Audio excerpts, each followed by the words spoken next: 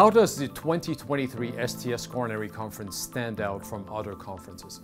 Well, our focus has been all along to make it very practical and very technically based. It really, our aim is to bring the modern cardiac surgeon or trainee or allied health colleague with the necessary tool set in order to bring coronary surgery to the next level.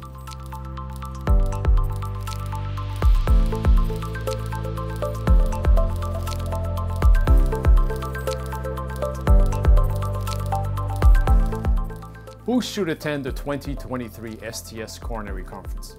Well, in fact, everyone who's involved in delivering cardiac surgery therapies to patients with coronary artery disease.